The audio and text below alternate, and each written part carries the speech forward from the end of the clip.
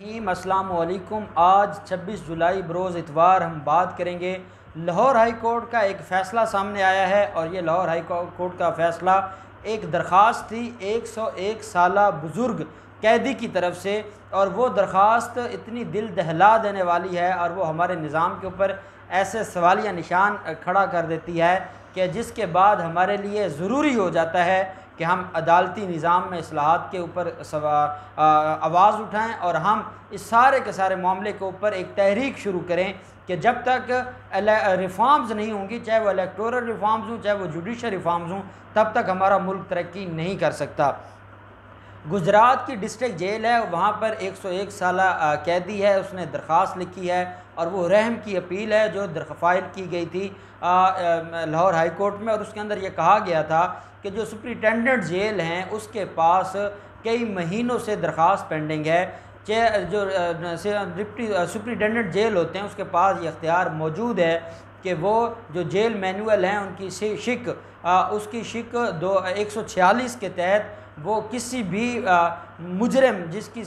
उम्र कैद होती है, उसको अगर वो बहुत ज़्यादा एज का हो जाए, उसकी उम्र ज़्यादा हो जाए तो उसके लिए वो दरख्वास्त कर सकता है वजारत दाखिला को कि इसकी सज़ा मुआफ़ की जाए और इसकी रिहाई का हुक्म दिया जाए। लेकिन क्योंकि हमारे जो सुप्रिटेंडेंट जेल हैं, ये सारी ब्यूरोक्रेसी है और इनके पास टाइम ही नहीं है किसी गरीब के लिए या इनके पास तो ये तो इतना भी नहीं करते कि कोई गरीब इनके दफ्तर में डायरेक्ट चला जाए और अपना हाल दिल ही सुना ले। हमारे कुछ दोस्त हैं जो अक्सर कहा करते हैं कि जो जजेज़ हैं, इसकी, इनकी क्वालिफ़िकेशन या इनके लिए सी एस एस जैसा एग्ज़ाम होना चाहिए। मैं उनसे अक्सर एक बात करता हूँ कि सी एस एस एग्ज़ाम देकर जो ब्यूरोसी ने मुल्क का बेड़ा गर्क किया है, क्या आप समझते हैं? कि जजेस अगर सी एस एस करके आ जाएँगे तो शायद आ, कोई बहुत बड़ा कोई तब्दीली आ जाएगी कोई तब्दीली नहीं आएगी। जब तक किरदार की असलाह नहीं होगी जब तक हमारे यहाँ हमारा क्योंकि माशरती बिगाड़ है पूरी सोसाइटी में बिगाड़ है वो हर आ, जो आ, हर डिपार्टमेंट है हर प्रोफेशन है उसके ऊपर उसका उसका असर पड़ा है। और यही वजह है कि जहाँ ब्यूरोक्रेसी है जजेस फिर भी कोई बात सुन लेते हैं कोई आम साइल जाता है, अदालत में कोई बात करना चाहता है, जजेस सुन लेते हैं। ब्यूरोक्रेसी के तो दरवाजे के पास खड़ा होना गुस्ताखी समझा जाता है और वो किसी की बात नहीं सुनते और यही वजह है कि ब्यूरोक्रेसी के इस फ़िरौनीत की भीड़ चढ़ा है। ये 101 साल कैदी और इसकी दरख्वास्त महीनों से पेंडिंग थी, जिसके ऊपर कोई कार्रवाई नहीं की गई थी और उसको मजबूरन एक रैम की अपील फ़ाइल करना पड़ी। ये जो गुजरात का कैदी है, इसका नाम है मेहदी ख़ान। और ये रिलीफ़ लेना चाहता है कि मुझे, मेरी उम्र हो चुकी है, इतनी ज़्यादा और बीमार हूँ मैं, मुझे बहुत ज़्यादा बीमारियाँ हैं और मुझे रिहा किया जाए।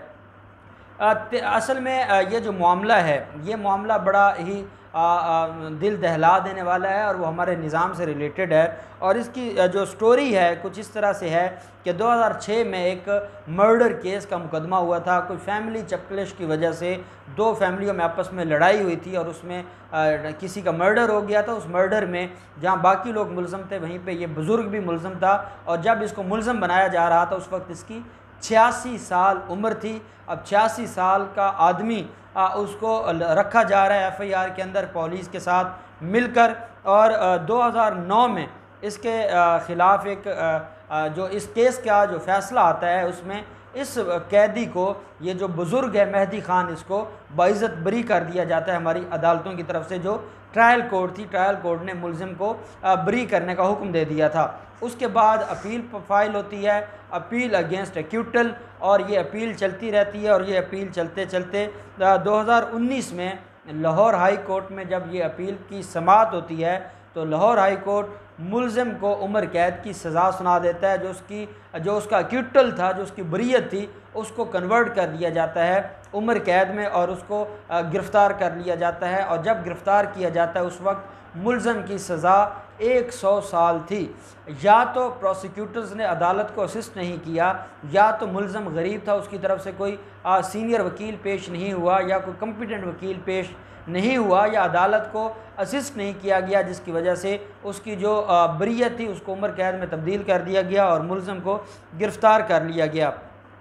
मुलम को गिरफ़्तार करने के बाद जब वो जेल में चला गया, जेल में उसके लिए रहना ही बड़ा मुश्किल था। वो रोज़ बीमार होता था और उसने अपनी दरख्वास्त में लिखा है कि ना उसको कोई हॉस्पिटल में एडमिट करवाता था, ना उसको कोई मेडिसिन मिलती थी और जो जेल में रहने वाले लोग थे, वो थोड़ी बहुत हेल्प कर देते थे और इस तरीके से वो अपने ज़िंदगी के दिन गुजार रहा था। कि जो जेल में मुख्तलिफ़ वकला जाते हैं, मुख्तलिफ़ जो बार एसोसिएशंस की, ह्यूमन राइट्स की या जेल रिफॉर्म्स कमेटीज़ होती हैं जो उसके मेंबर्स बन जाते हैं तो वो जेल के विज़िट्स पर जाते हैं तो एक वकील साहब हैं नदीम साहब नदीम साहब जाते हैं और वो जाकर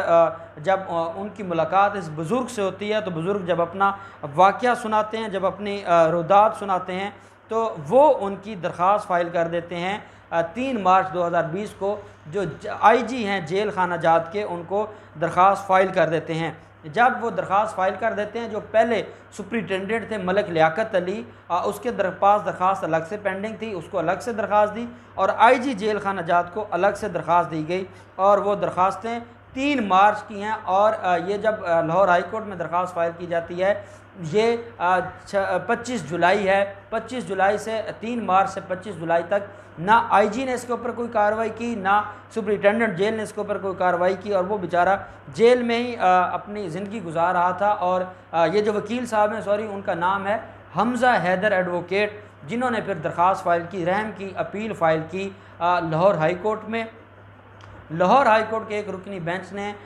इसके ऊपर फैसला दिया है और लाहौर हाई कोर्ट के बेंच ने कहा है कि जब कानून मौजूद है कि जो जेल मैनुअल हैं, उसके जो शिक है, जो उसकी जो क्लास है 146 उसके तहत सुप्रिटेंडेंट जेल के पास ये इख्तियार है कि वो अगर कोई भी ऐसा कैदी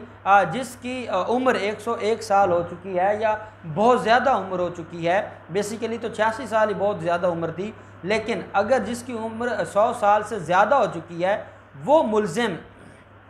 या वो कैदी, उसके लिए जो उसको रिकमेंड किया जा सकता है कि उसको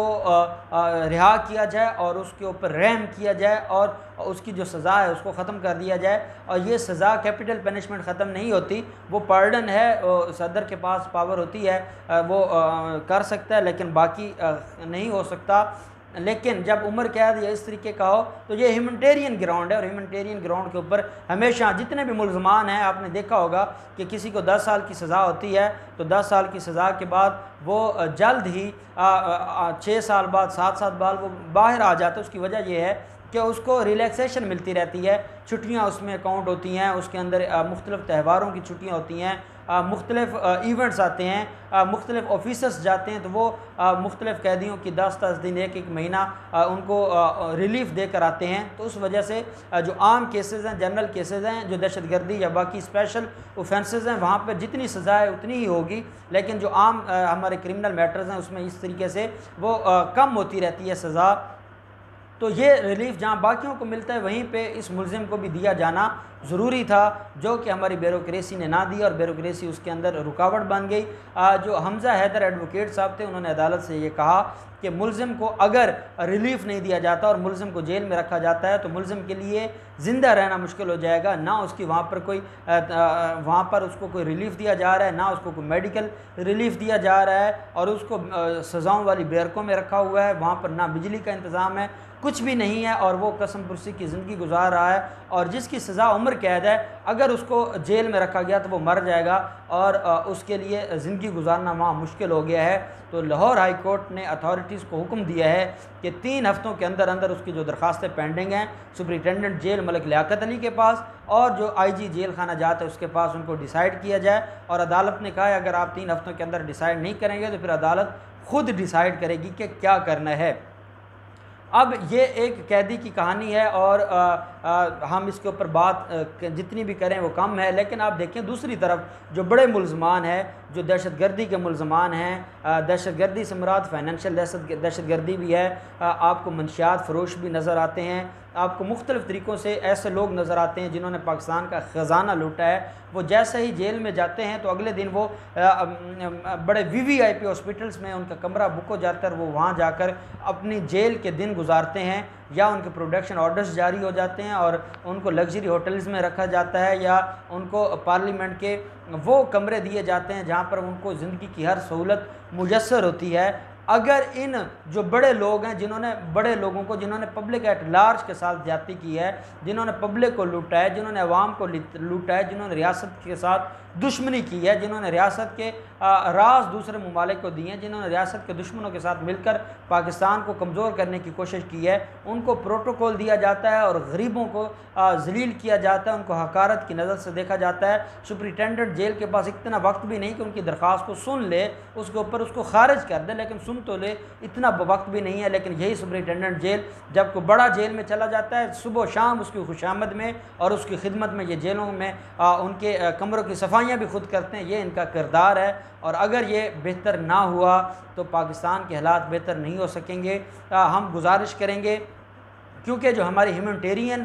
जो ह्यूमन राइट्स की ऑर्गेनाइजेशंस हैं, या हमारी शीरी मजारी हैं, उनके पास ये टाइम नहीं है कि वो इन कैदियों के बारे में, या जो हमारे बड़े बड़े इंटरनेशनल अपने आप को ह्यूमन वॉच और ह्यूमन राइट्स के अलम्बरदार समझते हैं या ठेकेदार समझते हैं वो इन गरीबों के बारे में सवाल नहीं उठा आवाज़ नहीं उठाएँगे। इन गरीबों के बारे में आवाज़ मैं और आप उठाएँगे, क्योंकि हम इनका हिस्सा हैं, हम पाकिस्तानी हैं और हमें पाकिस्तान से प्यार है और हमें हर पाकिस्तानी से उतना प्यार है।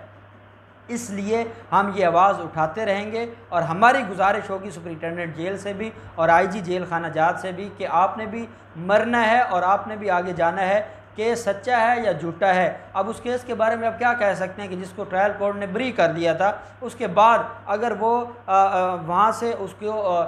लाहौर हाई कोर्ट से उसको उम्र कैद हो गई है तो सुप्रीम कोर्ट से उसकी उम्र कैद ख़त्म हो जाए और वो दोबारा ब्री हो जाए तो वो जो छः साल अजियत में रहेगा, उसका जवाब कौन देगा? और जस्टिस मकबूल बाकर साहब तो फरमाते हैं कि जब किसी की केस पेंडिंग होता है या अपील पेंडिंग होती है तो तब आप मुलम को जेल में नहीं रख सकते। तो सस्पेंशन का या जो हमारे यहाँ एक कानून मौजूद है, बेल का, वो सारे के सारे मौजूद हैं, जहाँ बाकी मुलमों को रिलीफ दिया जाता है या उनके हक़ में बड़े बड़े फ़ैसले लिखे जाते हैं तो इसके हक़ में भी फ़ैसला आना चाहिए और इसको भी आप इस कैद से, वो अपनी ज़िंदगी पहले ख़त्म कर बैठा है और उसकी ज़िंदगी की आखिरी सांस हैं। और उसको ह्यूमटेरियन ग्राउंड के ऊपर रिलीफ देना चाहिए, क्योंकि जब कानून उसको रिलीफ देता है, पाकिस्तान का कानून उसको रिलीफ देता है तो ये कौन होते हैं उस रिलीफ के ऊपर फ़िरौन बनकर बैठने वाले? अल्लाह करे कि पाकिस्तान में हर मज़लूम को इंसाफ मिले पाकिस्तान में हर कैदी को उसके हकूक़ मिलें, जो उसको हकूक़ हमारे कानून ने दिए हैं और जो इन बड़े लोगों को बड़ा रिलीफ दिया जाता है, ये रिलीफ ख़त्म हो और इंसाफ सब के लिए बराबर हो। अल्लाह पाक हम पाकिस्तान कामी मुनासर हो। बहुत शुक्रिया। अल्लाह हाफिज़। पाकिस्तान जिंदाबाद।